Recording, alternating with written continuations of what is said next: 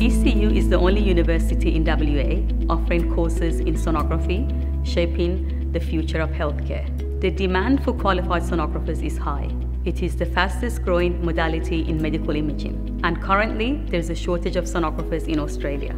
Sonographers are skilled professionals that use ultrasound to reveal real time images of the unborn babies, abdominal organs, blood vessels, as well as muscles and tendons.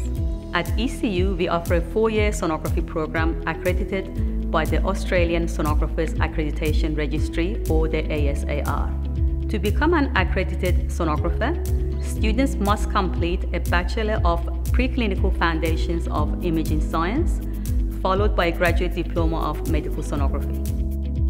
Sonographers collaborate closely with radiologists, emergency physicians, and other healthcare specialists.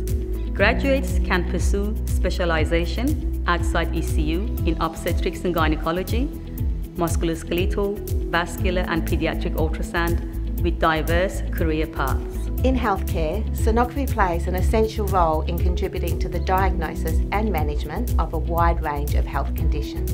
It is often a first line of investigation in healthcare. Your work as a sonographer goes beyond a job. It is a calling that changes lives for the better.